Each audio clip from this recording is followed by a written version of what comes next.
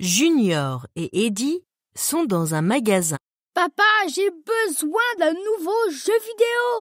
Tu n'as pas besoin d'un nouveau jeu. S'il te plaît, il y a des robots guitaristes dans ce jeu. Junior, tu n'as pas besoin de ce jeu. Tu veux ce jeu. Ok, je veux ce jeu. Et maintenant?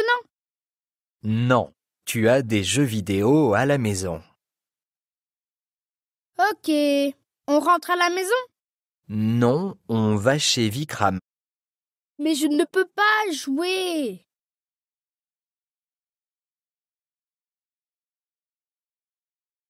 Sa télé est grande et j'ai besoin de regarder le match de football. Papa, tu n'as pas besoin de regarder le match. Tu veux regarder le match. Tu veux, s'il te plaît, ce match.